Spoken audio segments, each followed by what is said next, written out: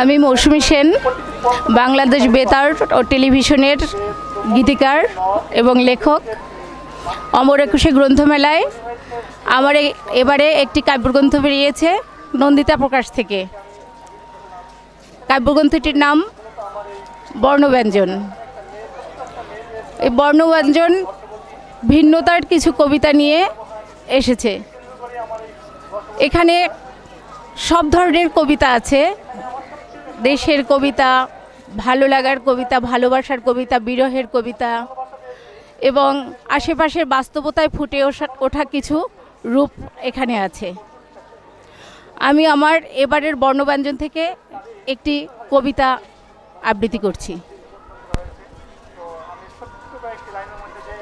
আমার কবিতার নাম অবচেতন ভাবনা। কলম তুমি থমকে যেও না। তুমি সত্য যুধিষ্ঠির হও। মিথ্যার সাথে আপোষ করো না। সময় তুমি যতটুকু পাও। মৃত্যুকে এত ভয় কি আর বলো? সে তো জন্ম অধিকারের প্রাপ্তি। প্রতিবাদে জেগে ওঠো তুমি। অসুস্থতা মনের হোক সমাপ্তি।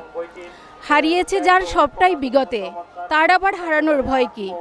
জানো তো ফুরিয়ে এলো বেলা। অদৃষ্টের লেখা এড়ানো যায় কি? কলম তুমি দিয়েছ আমায় কতটা? ছিনিয়ে নিয়েছ তারও বেশি সীমাহীন। সময় ভিক্ষে দেবে কি কিঞ্চিত?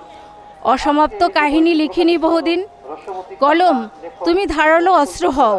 প্রতিবাদে হও যদি বস্ত্রহীন।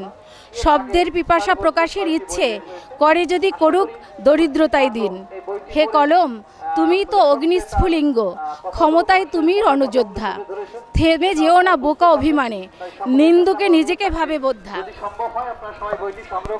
কলঙ্ক কোথায় নেই বলো? তবু চলছে যে যার মতোই। লিখে যাও তুমি অবিরাম বিপত্তি আসুক যেভাবে যতই। আজ তুমি করো নও কিছুই প্রেম নেই ভালোবাসা নেই। বাউলা মন ভুলে যায় সব কিছু সময় কাটে শব্দ রস